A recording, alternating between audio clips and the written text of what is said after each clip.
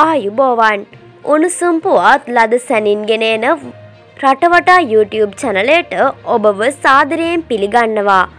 මෙන්න දැන් ලැබුණු තවත් උණුසුම් පුවතාක්. රටපුරා සිදුවෙමින් ඇති කොරෝනා වෛරස ව්‍යාප්තිය මත දැඩි සංචරණ සීමා පැනවීම ඉක්මනින්ම කටයුතු නොකරන්නේ නම් ඉදිරියේදී මහා ජාතික ව්‍යවසනයක් සිදුවනු ඇති බව මෙරට ප්‍රධානතම වෛද්‍ය සංගම් හතරක් එක්ව ජනාධිපති ගෝඨාභය රාජපක්ෂ මහතාට ලිඛිතව දැනුම් දී තිබෙනවා.